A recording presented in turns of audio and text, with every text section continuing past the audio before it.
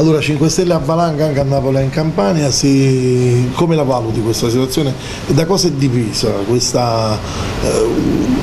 questa tormenta?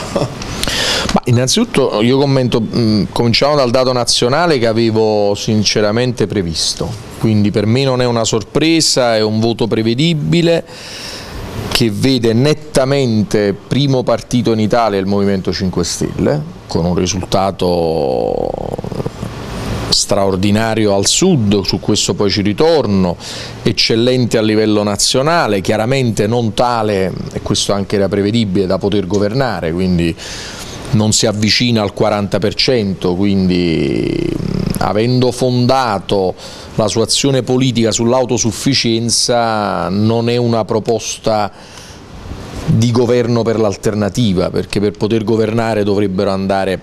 a chiedere i voti ad altri. La prima coalizione che si avvicina molto al 40% è quella di centrodestra e da tempo avevo previsto che il leader del centrodestra, l'avevo anche detto, è Salvini e lo sarà sempre di più.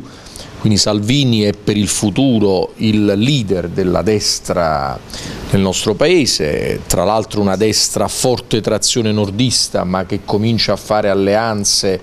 anche nel mezzogiorno, quindi una forza nazionale. Abbiamo il tracollo del, del, Partito Democratico col peggior risultato credo della storia, una quasi scomparsa della sinistra dal, dal Parlamento, dal Parlamento italiano.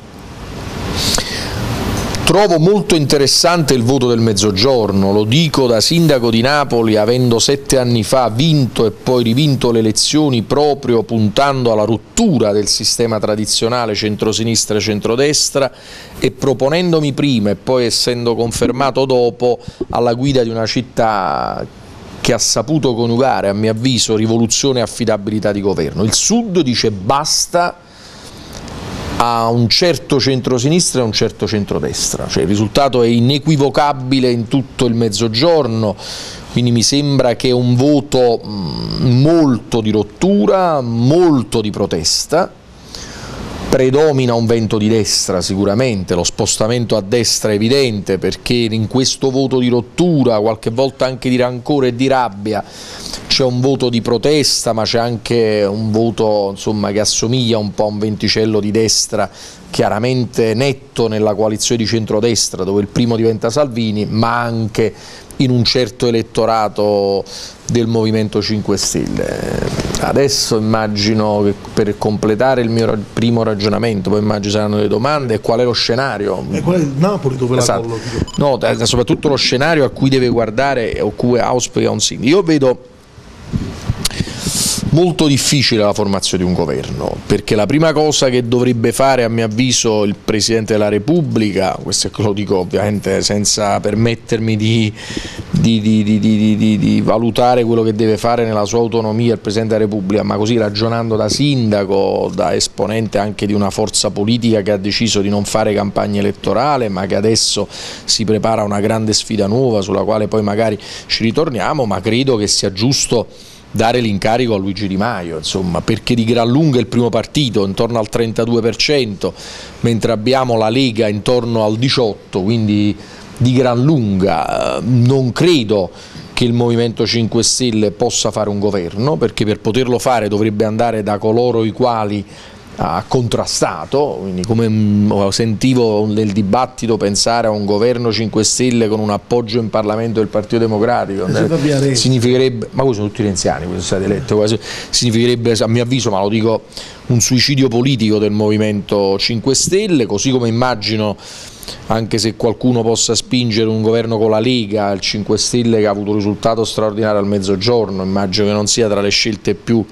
avvincenti e poi tra l'altro il Movimento 5 Stelle finora dove ha governato non ha dato il meglio di sé e dovendo andare a governare senza avere il 40% significa che su ogni legge e su ogni provvedimento deve andare a trattare con forze politiche che ha sempre contrastato, quindi immagino che il Movimento 5 Stelle difficilmente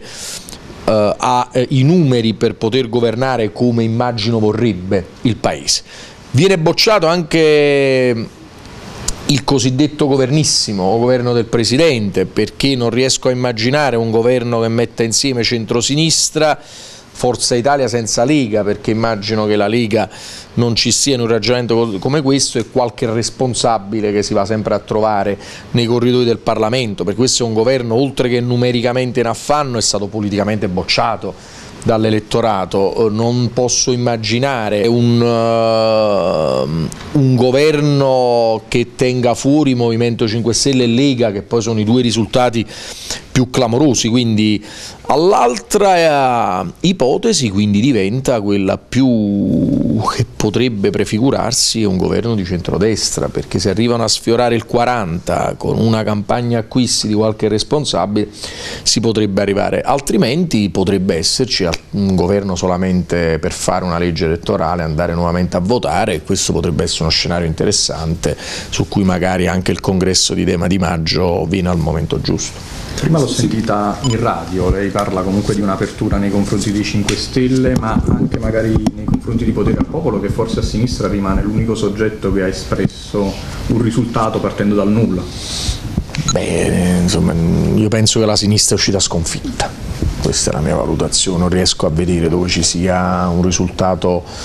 uh, che possa suscitare eh, la sottolineatura o di un successo, comunque di un risultato importante. Insomma, mm, la sinistra è uscita sonoramente sconfitta e le ragioni sono molto chiare. Io non è che faccio un'apertura, il mio ragionamento nei confronti dei 5 Stelle è sempre lo stesso. Io ritengo che eh, in questa campagna elettorale ci sia stato molto un voto di protesta più che di convinzione, perché dove hanno governato finora non hanno dato migliore prova di... quindi è stato proprio un voto e mi interessa molto questo del mezzogiorno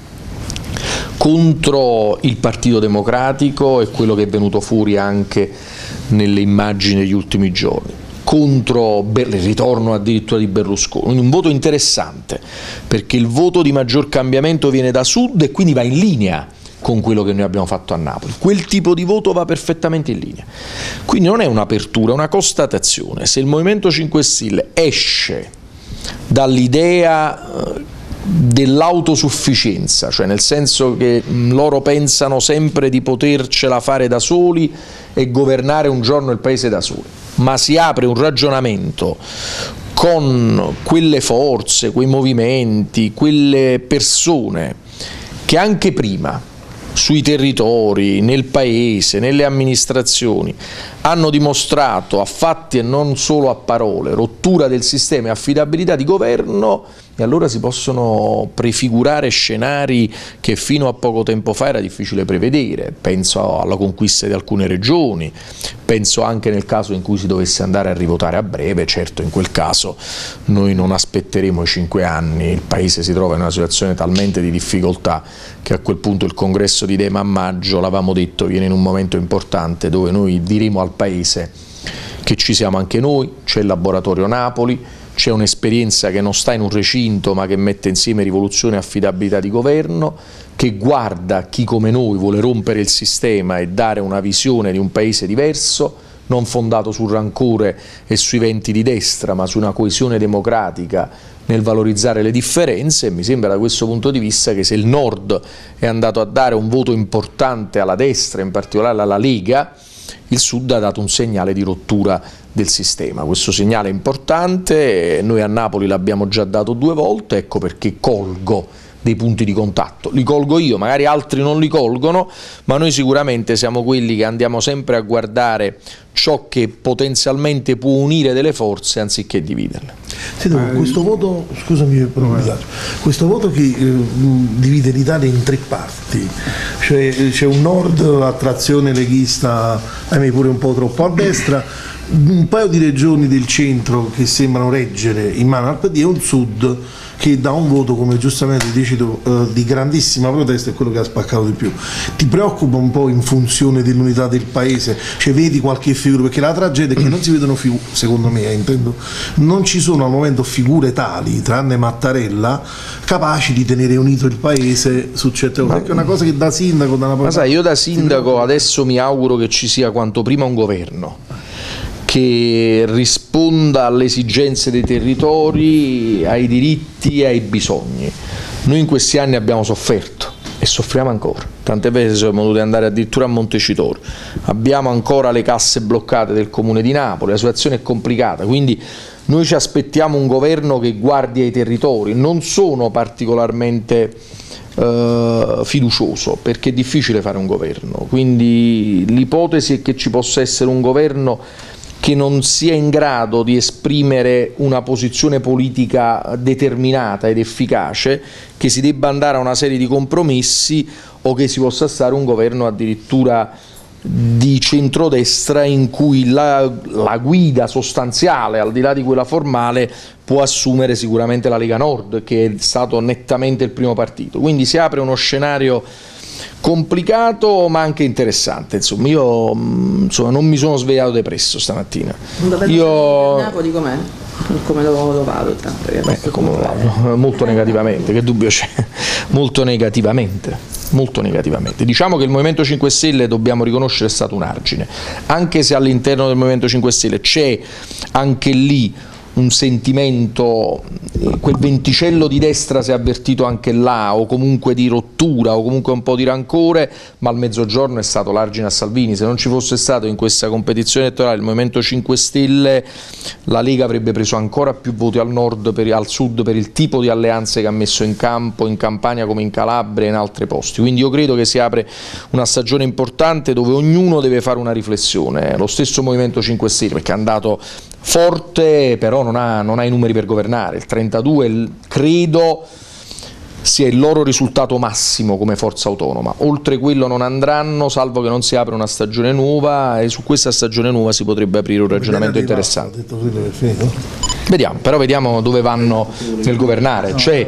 ho sentito dire i responsabili, cioè, capire un attimo, perché se il Movimento 5 Stelle potrebbe essere preso dalla voglia di governare, comunque di andare dagli altri partiti e chiedere l'appoggio che potrebbe ottenere in questo momento intelligentemente e strumentalmente, per esempio da PD e l'EU, penso anche al PD, eh, certo. ma conviene al Movimento 5 Stelle andare a governare con l'appoggio di Renzi? E sinceramente se io fossi un esponente del Movimento 5 Stelle che fa tutto questo per rompere il sistema e se è vero quello che dicono che vogliono rappresentare l'alternativa, come la costruisce l'alternativa con chi ha portato il Partito Democratico al risultato peggiore della sua storia e il Paese in condizioni così complicate. Quindi credo che si apre anche al loro interno una riflessione importante sulle varie anime, su quello che vogliono fare, se vogliono governare a tutti i costi, c'è anche immagino chi spinge a fare un accordo non col PD ma magari con la Lega, si possono aprire stessa ma poche ore da un voto così importante, ne avremo da discutere nei prossimi, nei prossimi giorni. Io sono soddisfatto del fatto che non mi sono lanciato in questa campagna elettorale, non ho trascinato Napoli, che Napoli comunque la vogliate pensare, rimane comunque un esempio, un laboratorio, siamo arrivati con intuito e visione molti anni fa, abbiamo provato a coniugare rivoluzione e affidabilità di governo, stiamo andando molto oltre schiere, i recinti tradizionali e siamo anche pronti a dare una mano dire, a un paese che sta in difficoltà. Quindi io mi tengo stretto questa esperienza politica e amministrativa e credo che siamo stati anche un po' da apripista se vedo il voto che c'è stato nel mezzogiorno. Mm, ormai sta da sette anni che viene affrontato due elezioni. Quello che salta evidente numericamente è che quando non ci sei tu cresce il Movimento 5 Stelle, quando ci sei tu con la tua gente sembrerebbe che lo, eh, i napoletani si fidano più di te diciamo, che di te. Vabbè, questo è un dato, è un dato storico. È un dato storico, ti vede la da- basta seguire il trend e si capisce. È un dato oggettivo, è un dato oggettivo a Napoli è un dato certo. Mm, ecco perché sicuramente è importante che questa volta non ci siamo stati per le ragioni che ho detto, non trascinare Napoli, eccetera, eccetera e dimostra anche che il Movimento 5 Stelle va molto forte quando non c'è un'alternativa credibile. In questo momento tutto quel voto di opinione, che in buona parte è stato anche il voto che mi ha portato a diventare due volte sindaco, una volta parlamentare europeo, non ne poteva assolutamente di votare Berlusconi e Renzi e l'alternativa dall'altra parte di Leu non è stata assolutamente credibile, Potere al Popolo ha rappresentato una bella cosa di entusiasmo perché è nata da Napoli, ma insomma non poteva avere sicuramente pretese di avanzare, quindi da questo punto di vista il dato che si coglie è vero, a Napoli quando noi ci siamo stati con una proposta che è andata molto anche in quel tipo di elettorato, che ripeto l'elettorato che mi ha sostenuto il 2009 arrivando primo nell'elezione al Parlamento europeo con mezzo milione di voti, sì sì ma perciò, ma perciò io ho sempre anche teso una mano perché so che l'elettorato ha dei punti di contatto importanti ma io credo che si può aprire una fase nuova. Io credo che si può aprire una fase nuova e se c'è questa fase nuova Napoli c'è Napoli è pronta a fare la sua parte, a dialogare, a confrontarsi, non solo nell'interesse del Paese, della città, ma penso anche alla Regione Campania. Grazie.